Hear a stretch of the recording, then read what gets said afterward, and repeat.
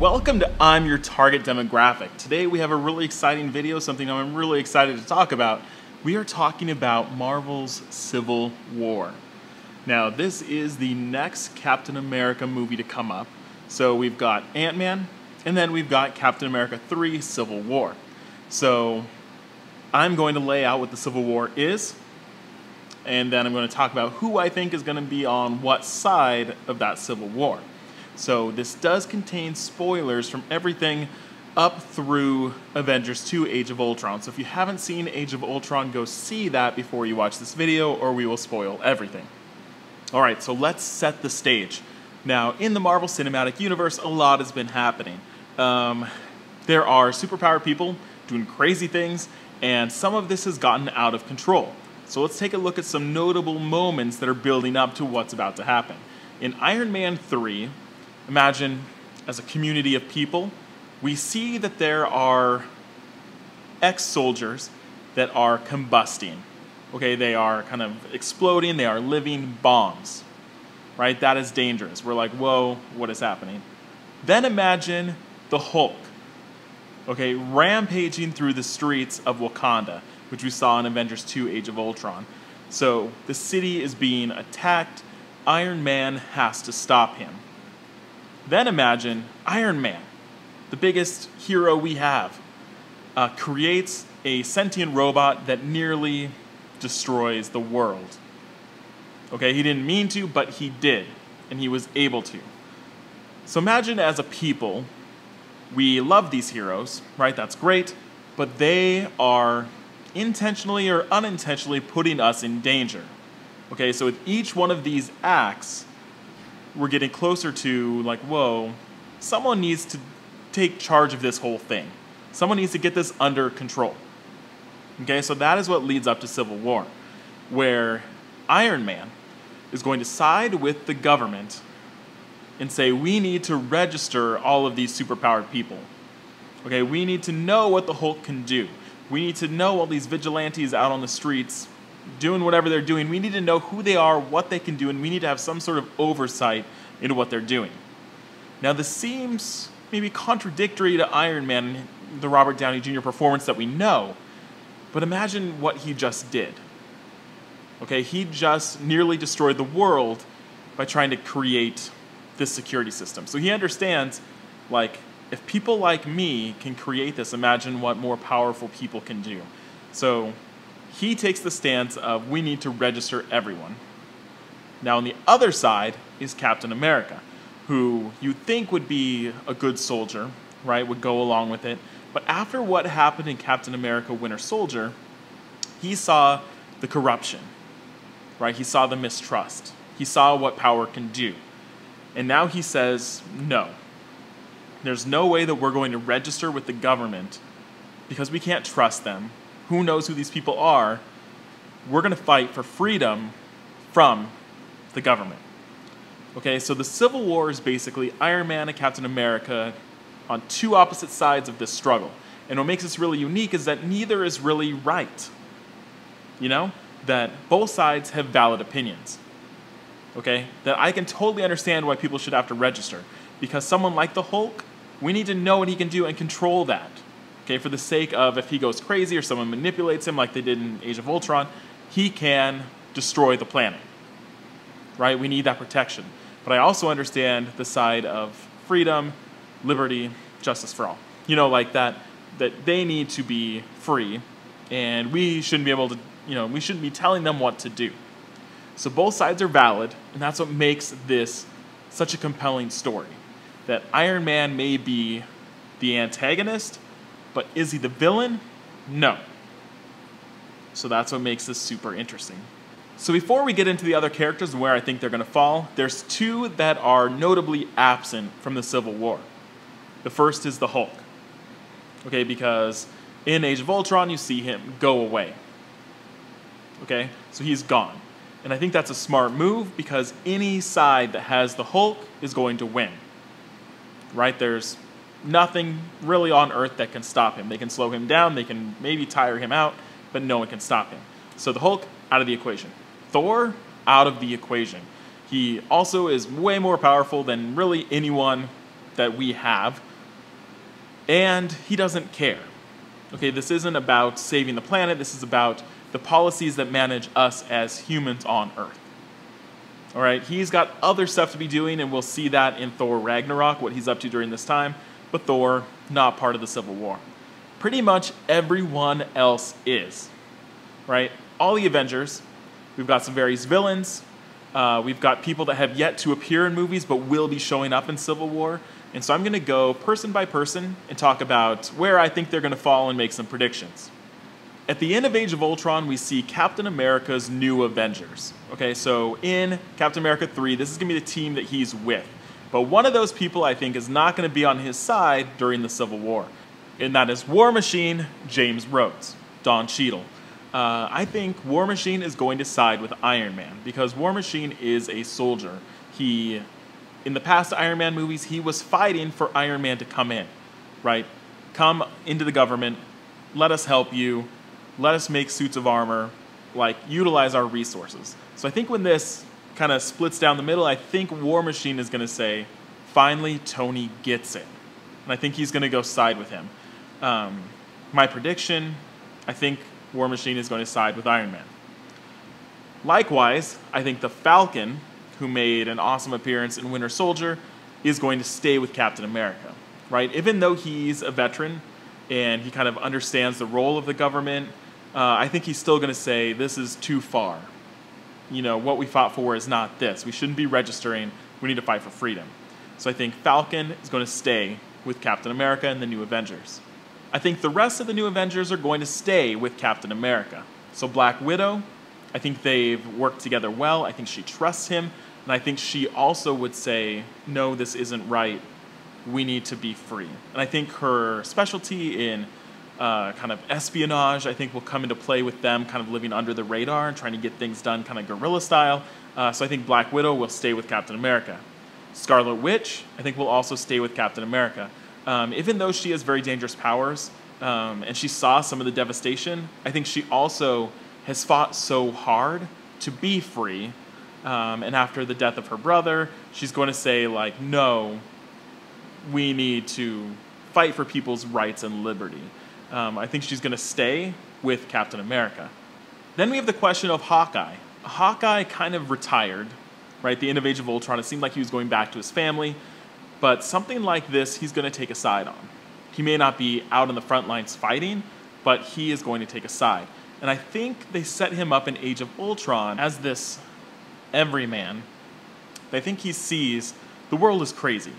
There are superpowered people, there are gods, there are monsters, and it's beyond what he's capable of and what beyond other people are capable of.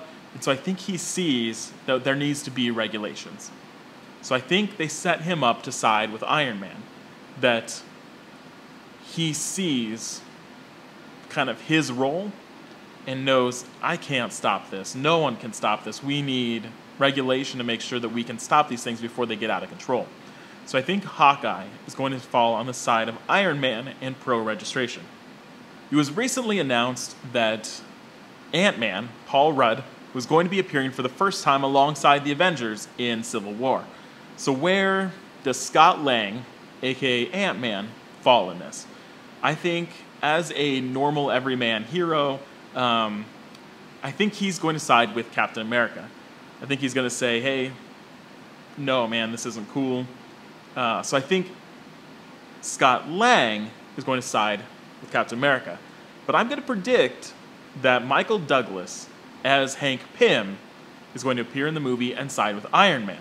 So it'll divide the two of them, right? So in Ant Man, I expect we'll get kind of a mentor mentee relationship, and I think this issue will divide them. Where Hank Pym, as an agent, uh, former agent of S.H.I.E.L.D., probably think they're going to set up some history like that.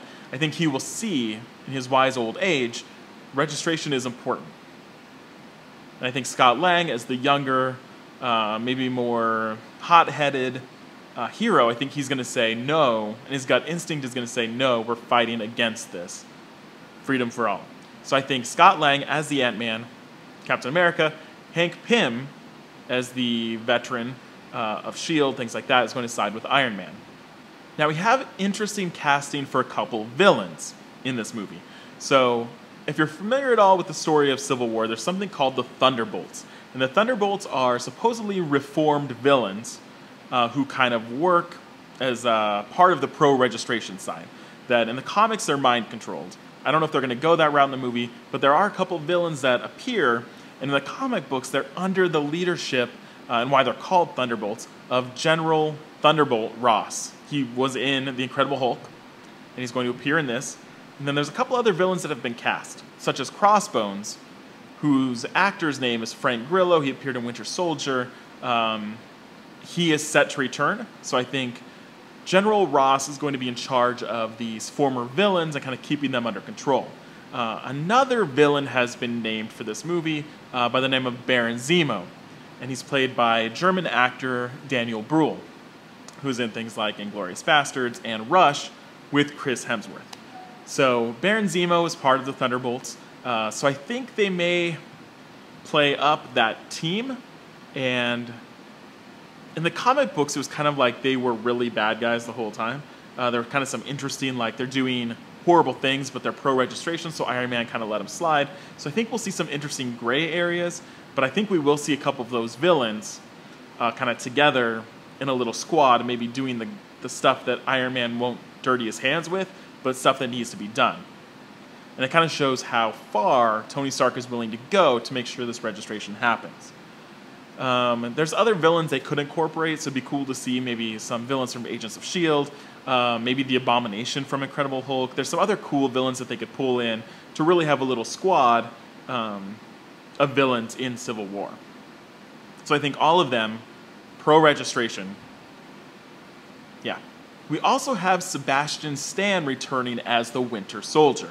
Uh, this is a little up in the air because who knows kind of is he remembering? Does he know who he is?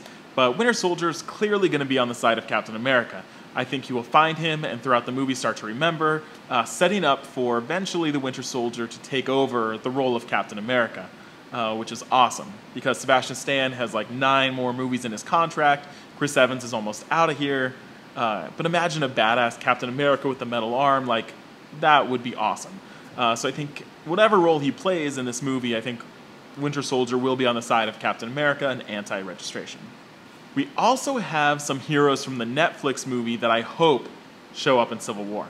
They haven't announced anything yet, but I think they will. And I think as those street level vigilantes like Daredevil, Luke Cage, I think they would clearly be anti registration, right? Um, Daredevil's not going to expose you know, who he is to the public, he's not going to register. Um, so I think clearly any defenders, if they show up in Civil War, will be on Captain America's side. We also have another brand new Avenger that's going to be appearing in Civil War for the first time, and that is Chadwick Boseman as the Black Panther. Now, they set up Wakanda in Age of Ultron, right? So that is where the big Hulk versus Iron Man fight happened. Was in this kind of fictional nation of Wakanda where vibranium is mined, and uh, kind of this big turmoil there. So imagine, as the leader of this country, your country was just ravaged by this mind controlled Hulk. Not his fault, but there are people out there powerful enough to manipulate those people, right? There's dangers like the Scarlet Witch, like the Hulk. So imagine, as the leader of that country, you have to say, I need you to register. We need to know who can do what. We need to make sure that my country is not hit by something like this ever again. So I think in the movie, and this is opposite of what happens in the comic books, I think in the movie they've set Black Panther up to be pro registration. And maybe he goes back and forth. I mean, I think Iron Man reaches out to him and uses him as power, right, as the leader of a country uh, for that political power. I think maybe he might change sides when he sees some of the sketchy antics that Iron Man is going to. Um, but I think because of that reason, because of the attack in Wakanda, I think he's going to be firstly, pro registration. Then there's two characters that I have no idea where they're going to fall. And the first one is the Vision. So the Vision is part of Captain America's New Avengers at the end of Age of Ultron. But Vision, as he says in Age of Ultron, is on the side of life. So I don't think this petty squabble over some policy, I don't think he's going to really get involved in. I think Vision will be the one that has a through story of trying to settle these differences, of trying to find peace and stop this war. This might involve Vision seeing the attack of Thanos in Avengers 3 coming. Because however much they fight, it's going to be Thanos that brings them together. And I think Vision might be the one at the end of this movie to say, listen, everyone stop. We have something bigger coming our way. So I think Vision will have this story of him discovering that, maybe going into space, like doing something to discover what is about to happen. Um, so I don't think Vision's going to pick a side because he's not going to fight for something that, as an android, really doesn't affect him. Okay, so I think he's going to go on this sort of quest to do that. The other character that's a mystery is Spider Man. Now, they've said that Spider Man is appearing in a movie, and we're all assuming that it's Civil War. But they're casting a high school kid as Spider Man, so he will not play the same role that Spider Man played in the comic books version of the Civil War. Because in the comic books, Spider Man, as an adult, he's been around for a long time, he is the one that unmasks and unveils himself to the world as his true identity. You know, he's pro registration, Iron Man kind of tricks him into this, and he says, I'm Peter Parker, right? It's a big deal. But in the Marvel Cinematic Universe, this will be the first time we see him. So that'd be really strange to immediately meet a character and then have him reveal his identity to the world, right? We never have seen him as this kind of dual personality, uh, Peter Parker, Spider Man, that whole thing. We've never seen it. So I don't think they're going to go that route here. If they're going to do any sort of unmasking, it might be the Black Panther, you know, to say, I am the leader of this nation, I'm also the Black Panther. What? Uh, or it could be Daredevil, but I don't know if enough people have seen the show to make it that big of a deal in the movie. I don't know. They need to take some hero and maybe unmask to be that face of uh, registration. So I don't think it's going to be Spider Man. So that's why I don't know what role he's going to play. If he's not that figure that is divided, that they're fighting over, he's just a kid. My instinct is if he doesn't unmask, he's going to be with Captain America. So that might be a smart thing to take some of our new characters of Black Panthers with Iron Man and Spider Man, is with Captain America, there's kind of a new guy on each side. That would make sense to me. And that's assuming that Spider Man is even in this movie. They might do something totally out of left field and put Spider Man and Doctor Strange or something. So we'll see. So that's basically it. Those are kind of the main people that we have right now. And that's a lot. People were complaining that, you know, Civil War isn't big enough yet. But imagine we have a cast of six or seven people, uh, maybe more, on each side. You want them to have enough screen time to understand why they're doing what they're doing and why they believe what they believe. So I'm okay with small teams, you know, an Avenger sized team on each side, and they want screen time and there's new characters we need to get to know. I'm okay with that. I'd rather not have 40 people in the movie that we don't get to see ever. Uh, so hopefully this gives us some depth and maybe makes it a little more relatable instead of a, you know, the Civil War in the comic books was kind of this big thing where it's just battles all the time. Like let's see one-on-one fights. You know, let's see the Falcon and War Machine go at it. You know, that'd be awesome. And then there's other characters that maybe from Agents of S.H.I.E.L.D., they incorporate, maybe some Inhumans, who knows. Uh, but this is who I think is going to be in it and where I think they're going to fall. What do you think? Are there any characters that you think might go the other way? Do you think Hawkeye is going to say, no, I'm with Captain America? Do you agree? Do you disagree? Is there anything else you want to see in Civil War? Uh, are there other characters they haven't announced that you think, I really want this villain to show up and be part of the Thunderbolts? Uh, what else do you want to see? And if you haven't already, head over to Facebook, to facebook.com slash IAYTD. Give me a like. I have other movie reviews. I have other videos. I have all sorts of stuff coming up. Make sure you give it a like. Uh, make sure to like this video, subscribe to this channel, do all that, and make sure to comment. Thanks for watching.